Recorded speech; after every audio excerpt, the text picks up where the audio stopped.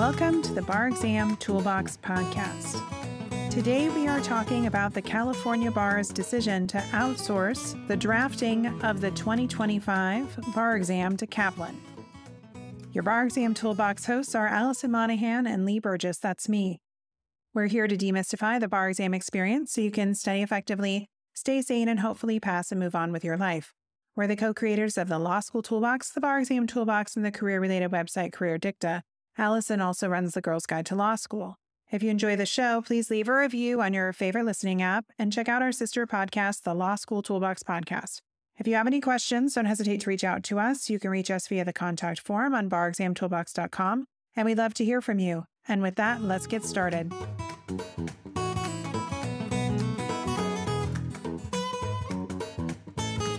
Welcome back to the Bar Exam Toolbox podcast. Today, we're talking about California's recent decision to outsource the development of part of the next bar exam to Kaplan. So, fun times, Lee, huh? Oh my gosh. Can we just talk about how I was on vacation when this news broke? And I kind of missed it because I was on mm-hmm. vacation. And then somebody sent us a note about it. And I had a moment where I really kind of heard the record skip, you know, and you're like, what?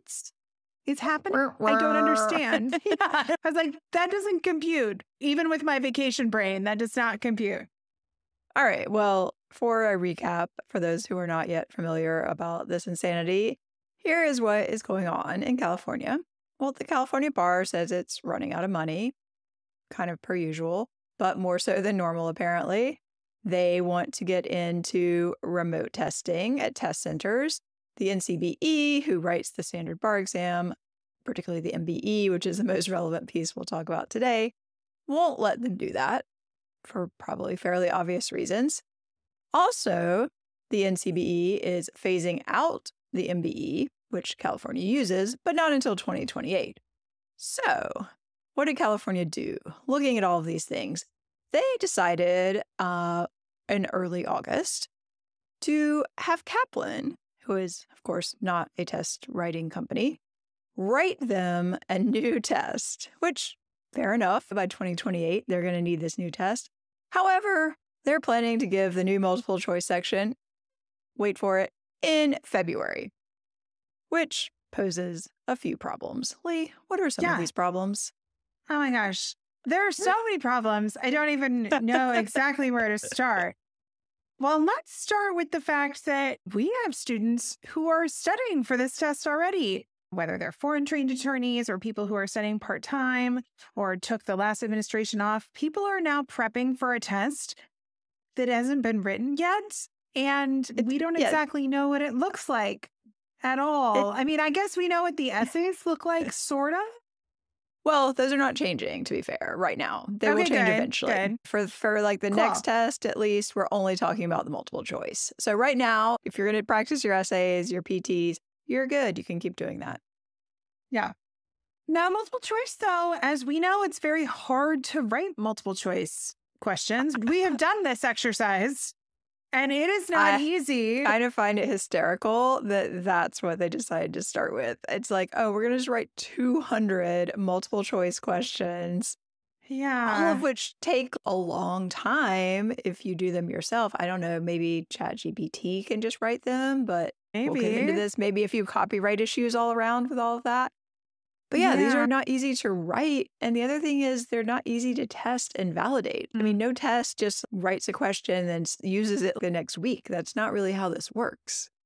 No, I mean, this is why the NCB always includes experimental questions as part of every administration. They are testing questions for validity before they include them on the test. Also, you need to mix up the questions. You can't just have the same 200 question set and be like, oh, we'll just do that in February and then we'll like mix up the order and do it in July. I mean, people are going to start memorizing them. That's a terrible idea. Is that what they're going to do? They don't say. I mean, oh my gosh, it makes me really anxious. I think we're not alone. Everyone is like, what the mm, about this? Mm-hmm. Uh, it's just a family friendly podcast. Um, but really, seriously, like, WTF. Like, there's so many things about this that just are frankly kind of insane. Like Do we even know how the next test will be administered? Is it going to be at a test center? Are you going to have to go in person? Like, we don't even have that basic information right now. What about people with accommodations? What sort of testing center are they going to take their test at? Is it going to be at these testing centers? Where are these testing centers? Where are they? What are they? I don't understand. I mean, I remember back when I took the GRE, like a long time ago, I just went to like a local neighborhood testing center and I sat down and took it and it was adaptive. They gave me harder questions if I got them right, that kind of thing. So I think that ultimately is the goal, which again, like fair enough if you can figure out how to make that work when everybody needs to do it kind of at the same time or the questions are going to be leaking out. But I just don't see we're doing this in literally a few months. They're like saying in the fall, they're going to release some samples. That's way too late for this. People are going to find out they failed and then suddenly they're supposed to be taking this whole different thing. Because either it's basically the same thing, in which case they're probably infringing the copyright of the existing NCBE questions, which is a whole separate issue we'll get to in a little while, or it's not the same thing, in which case, WTF? What are people supposed to do to prepare in literally a matter of a few weeks, basically? I know. And then I also feel that some bar takers are going to probably also file lawsuits about this. I mean, I don't know what the grounds right. would be, but there could be reliance, discrimination. They didn't validate the tests. I don't know, but I feel that some attorneys are sitting down and making a list of possible claims mm-hmm. because yeah. this just doesn't sound right to me in my no, advanced other... legal knowledge. No, the other kind of fun aspect of it is Kaplan has to get out of the market, obviously, for test prep in California, but like people have already signed up, presumably, to use their stuff. Are they just going to get a refund and like, oh, sorry, you have to go to some other company now? I mean, the whole thing, it's just beyond. It is really bizarre. And why, why, why do you have to do it right now? I understand that the bar is running out of money. I mean, I don't because I'm still licensed by the California bar and my bar dues are a fortune. So, right. As you know, least because you see my bar bills. But well, at least you get to actually be an attorney. I'm inactive and I still pay like half of what you pay for literally nothing. true. That's true. That's nothing. true. I think maybe they offer me like life insurance policies. That's it.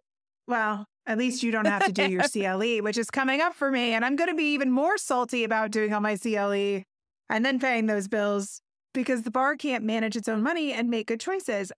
On our work chats, our Slack channel, we've had some discussions about this when the news came out. When I got back from vacation and was like, wait, what? What? Like, what has been happening? And I feel like it's a universal confusion. Everybody believes this is a terrible idea, and no one sees how this is going to go well. This really feels like other kind of debacle type things that the bar has done, like, say, a number of years ago, releasing the mm-hmm. subjects that were going to be tested on the exam on accident, or all the other mistakes that they've made it just seems like I don't know why they would want to create such instability so quickly. They had till 2028. Yeah, I feel like we're kind of seeing what is it, Fyre Fest plus California Bar, whatever. I don't even know what to call it. All combined into one really poor set of decision making. It also has the feel to me of like somebody's on the golf course who happens to work for the bar, who's on their buddy's golf trip with somebody from Kaplan, who's totally like, oh man, yeah, we can like disrupt the bar, man. This AI stuff, Chat GPT, yeah, we can totally just knock this out for you, man. And then they went back and signed a contract. Yeah, for what was it, eight point something million? On yeah. one hand, that's a lot of money. But on the other hand, that's a lot cheaper than administering the bar? Like, how much money are you spending administering the bar? I mean, that's a separate question that maybe we should mm-hmm. take up with other people. But yeah, it does not feel very well thought out. I really feel no. for the people who are trying to navigate this situation because if we're flipping out, what are the somebody who's planning to take the bar exam in a few months? I mean, literally the next exam is like if you're taking the bar again and you're taking this exam, and this exam does not even conceptually exist right now. Yeah. I mean, results come out in November. We're recording this in late August. So November is not that far away when you look at the calendar. Yes, it still feels like summer outside, but as my daughter was remembering, Halloween is coming. November is going to be here before we know it. And we are hoping that we have some examples and then we're just supposed to study off of the old framework. I mean, the whole thing just feels so uncertain and really chaotic and unnecessarily so. It's like not a surprise that the bar is in money trouble. I've seen press releases about that for years and years of like, oh, the bar is still running out of money. We're trying to make cuts. okay, that's fine. But it's not like it was a surprise this year that it got a lot worse. But yeah, it just doesn't feel well thought out. And what is the board of directors of the bar doing? Like, do they remember what it's like to study for these tests? I don't understand.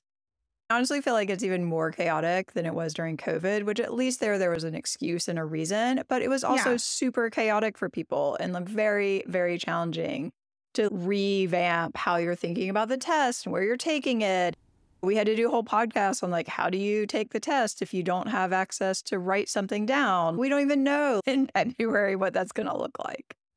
I know. But then you also think about the added stress of all of those folks who are going to sit for the bar and then they have to figure out how to curve it. I mean, that's the other thing. Like everyone's going to take it and they're going to be like, well, we just see what happens. I mean, I I think, yeah, I think actually that's kind of what it is. Like, oh, well, we'll just figure out how to scale it after we give it. Because that's what I'm saying. Yeah. Like, there's literally no time to validate any of this. It's not like you can go out and test some questions with a bar population.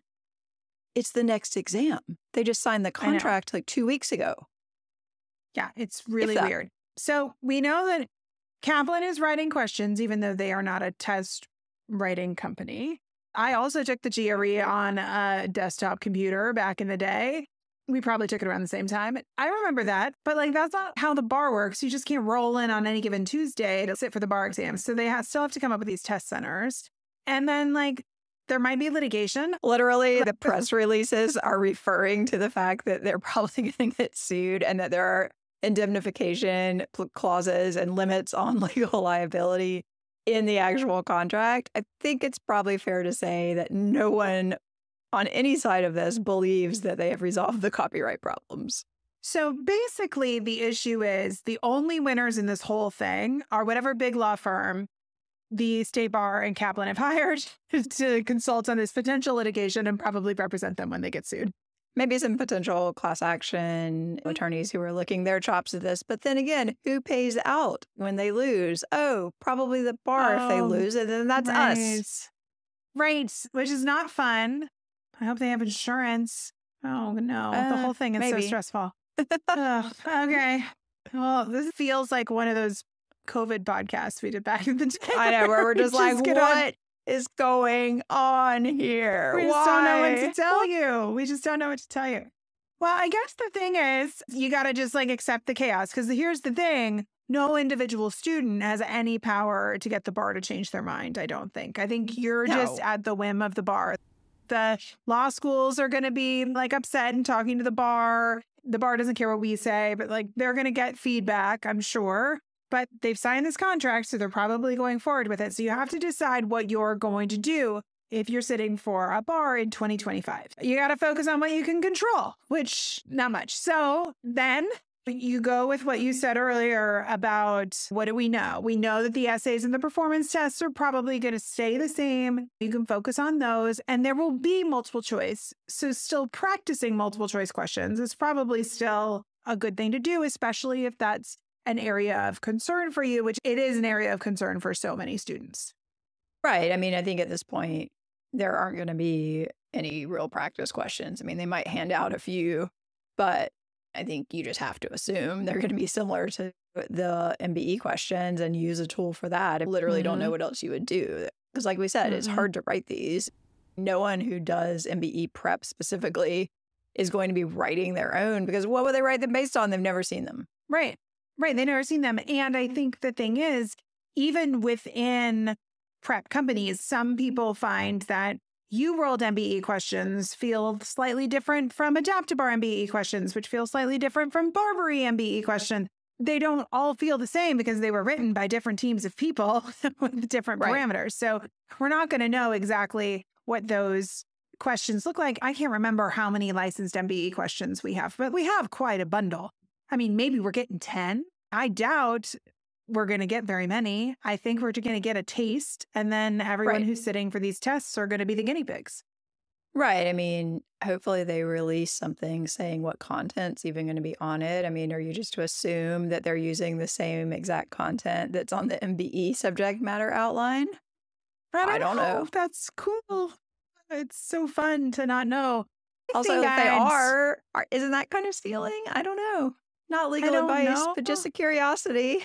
It's weird. It's weird. And not just read rumors, but I feel like back in the day, Kaplan got in trouble for copyright infringements with the NCBE. Maybe. I had this memory. It was a long time ago, like back in the early days of us working together. But when they were doing PMBR, which was their like Mhm. MBE, that that some of their questions got a little too close for comfort.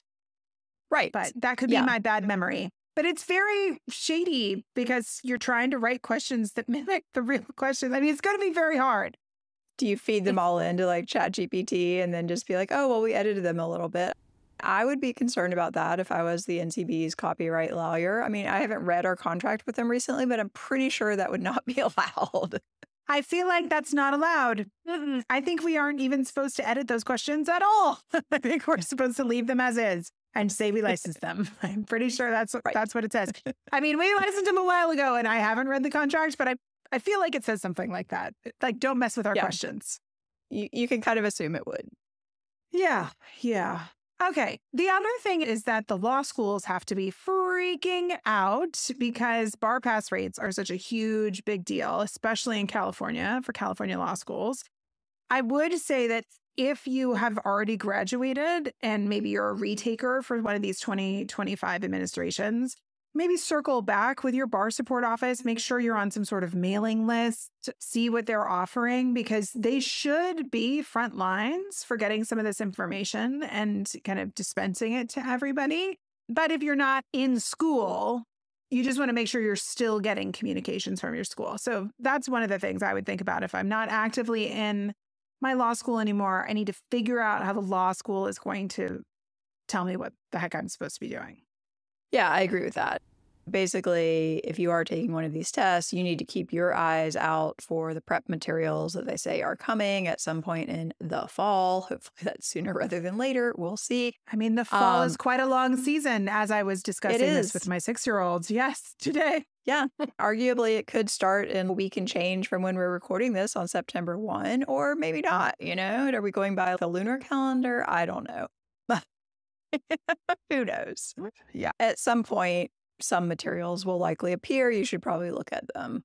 I think the schools hopefully are going to be having as much information as they can possibly get and obviously talking to whoever they can talk to. But the whole thing is just such a ridiculous mess at this point, let's be honest. Yeah, I guess you just have to go into it with this idea that you have to play the hand that you're dealt. This is kind of a crummy hand. So you just have to do the best with it and know that they are probably going to curve it all and everyone's in the same boat. That's the good Yeah. news. The only thing I was thinking, I was like, maybe they won't even get around to writing all 200 questions and you'll get a shorter test. Something like that could happen. I mean, who knows? We've all been in these meetings with high level people who are just like, yeah, we can do that. You know, you and I have definitely been in some of these meetings where it's like, that would be so easy. And then the people who actually do the work show up and are like, actually, that's a lot like, harder than you think. Yeah, this is actually like really hard. There are like people who do PhDs and things like validating tests, and there's a whole process. There's mm-hmm. some best practices. Best practices probably not give the test six months or less mm. after you sign a contract. I mean, guessing that's not a best people- practice. No, and people litigate over the SATs. I just feel like this is also right for issues of discrimination. That's why you're supposed to validate these tests to try and minimize these things. I mean, is that part of the indemnity like litigation clauses? I don't know. No, I think they just cover the IP actually from Oh. the limited information we saw. What could possibly go wrong? poss- with a bunch of lawyers involved. I mean, you just look at the next gen exam. People think that's moving too fast in certain ways. They have been working on that for literally years. And it is not even coming out for another several years, or a couple of years now at this point. And even now, people are freaking out because they're like, you're supposed to give this in what, two years now? And we don't even have a full exam. That's still two years away. They've got like pretty decent samples. It's not like the next test. And they're trying to calibrate them and give the test so people can write answers so they can see what people are doing with them. One of the things they're doing is getting groups of people together and giving them these tests. That's what they're Yeah. doing. They've had meetings and committees and all kinds of stuff. They're having discussions about what the content is and fighting over it and then coming back together and then having another list. You can't do that in a few months. No. Also, they're having webinars for law schools and people who work in test prep, and they're doing interviews with folks like us to talk about it. They're out to educate everyone. And this is not saying I think the NCBE does everything right, because I, I don't. But I'm just saying that that is what they're doing, which is what you do when you write a new test. I just don't understand it. I don't know. It's, Yeah, it's I all just- very anxiety inducing. It is. It is. But again, back to what we control, what we don't I know. control. It's true. we do not control what the. California bar does. If anyone No. has not learned that yet, Yeah. they just do things and people react to them. I just feel badly for the people who are trying to have some sort of orderly preparation period and know that they needed more time and they thought they were doing the right thing by maybe skipping the last test and waiting till February. Now they are in a world of chaos. Yeah. However, I will say that if you have struggled with multiple choice questions, working on any multiple choice questions is probably still a good idea because Right. even though they're not going to be the same, many people struggle with time management or getting distracted by answer choices or mm. not carefully reading the facts. I mean, there are so many mm. things that we find that folks do struggle with that are going to translate across tests. So at least you know that if you are focusing, especially on these execution pieces of the MBE, that is going to translate. Because even if it's on a different subject, I mean, let's not even go there, but let's say it's on community property. I don't know, maybe. You still need to have really good skills. Did mm-hmm. that just make people more anxious? I just thought about feel that. I was like- like, they could be writing yeah. community property questions. What? no. I feel like we're I just going to assume that it's the same seven MBE topics, unless there's a way that Okay. could be infringing copyright. I feel like you could use the same material because that's like black letter law. It's not really copyrightable. I know, but what about color. those like study guides, the ones that do all the subjects and all the stuff that's covered? That's probably Well, yeah, I mean, people presumably will still buy stuff from the NCBE because I can't imagine that California is going to put out like a full subject matter outline of rules at this point. no, but then I think the easiest way to get around some of those copyrights would be to test the California specific subjects. But that would be total insanity. Let's face it, they have nothing to work off of with those. That's true. They don't even have a model for that. Also, that would be like even more Yeah. unfair than ever. All these people who are going to find out in November that they didn't pass, they've got at that point a pretty limited time to study. And there's no way that you could just switch all of the multiple choice topics. That would be even more insane. Yeah. I hope so. I mean, maybe I'm giving a Uh, little more credit than is I- due here, but I'm like, surely not. Surely you wouldn't do this. I know. Yeah. I mean, this whole thing is pretty crazy. But I think the one thing I will say is that if somebody is listening to this and waiting for their bar results and is feeling like they might have really failed, not the type of I think I failed, like everybody gets a little anxious that they failed, but maybe something happened that really makes you think that you might have failed. I do think that if you're really worried about this new multiple choice question section, spending a little time brushing up on your performance tests while you're waiting for results. I'm not talking about like studying 20 hours a week. Mm-hmm. I'm talking about three hours on a Saturday or something like that, but just not losing some of those skills. So you could maybe spend a little more time on the multiple choice. That is one thing you could do. Not that you need to, but if you're really worried, you could use that type of an activity as an insurance policy. Yeah. It's all just so bizarre. I'm so sorry, everyone. I'm so sorry. I didn't think this was a possibility. This How- wasn't on the, the 2024 bingo thing. card. No, it was not. It was not. I was so confused when I got the note while I was on vacation. I was like, what is this person talking about? Right. Ah, Well, it's kind of like what Mhm. they did with a baby bar maybe like half a year, year ago, where suddenly they're like, oh, by the way, that whole test is multiple choice. Moving on. And everyone's like, wait, what? I I'm know. sorry, was this like under discussion? What's going on here? yeah. Same thing. And the baby bar is not just like a road to lic- to licensure, but for some students, it's how they get back into law school when they've been academically dismissed. And so a lot is writing on the baby bar. And they're just like, we're going to change it. Sorry. Yeah, I feel like that's actually the most infuriating thing to me about this whole thing is these are actually people's lives and careers. And I feel like Yeah. it's very disrespectful to just be like, oh, well, we're just changing everything and we're not providing you any information at all, but I'm sure it'll all work out. Good luck. Bye. And also give us a lot of money to take this test. I know. And then I also feel like you're going to end up with this chaotic situation of possible litigation. And then are they just going to wave people in? I mean, it's some of the same stuff we were talking about in 2020 with COVID. It's like, what are they going to do if this is a true disaster? And in that case, they didn't end up waving a bunch of folks in, but you know, they still had a test that was tested. Even writing these essay questions, they take forever to write these questions. They have to be considering to use AI to do this faster. I don't understand how they think that this is going to happen this fast. Which we've all seen mixed results with our explorations of the AI tools out there. Like, can I you make them write some questions? Sure. Is that question a great question? Maybe not. And I can't know. imagine there are that many people who really want to sit around who don't already work for the NCB or something like that that want to sit around and write a bunch of these questions because it's really not a lot of fun. No. Ugh. Okay. Well, this was a stressful podcast. So I think everybody needs to take a deep breath. Everybody needs to take a deep breath, and we'll get through this mm-hmm. together. It Figure it out. rocky, guys. We'll figure it out. We will keep sharing news once we hear it. I mean, who knows? But no more vacations for us. We just have to stay online and see what happens. we'll keep talking about it. And I think everyone's just going to have to kind of hang in. It's a little bit like COVID. We don't know exactly what's going to happen, but there will be some sort of a test. There'll be a chance for you to get some a license. people will pass. Some some people, will pass. Won't. We're going to help you try to pass. A lot of other people are going to try and help you pass. Take some deep breaths. It's a good time to create a meditation practice. Yeah, get your self care in order.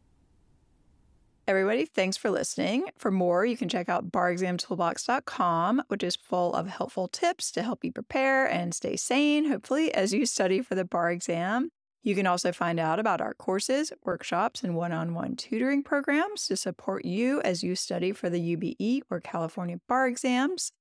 We'll put it on our email list too if you've got any updates, so sign up for that.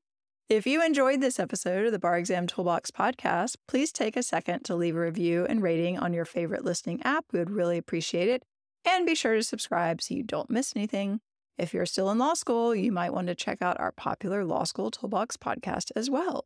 If you have any questions or comments, please don't hesitate to reach out to Lee or Allison at lee at barexamtoolbox.com or allison at barexamtoolbox.com. Or you can always contact us via our website contact form at barexamtoolbox.com. Thanks for listening, and we'll talk soon.